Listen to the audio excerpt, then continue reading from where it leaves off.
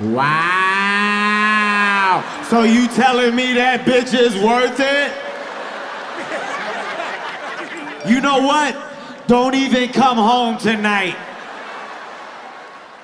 Wow. So you really not gonna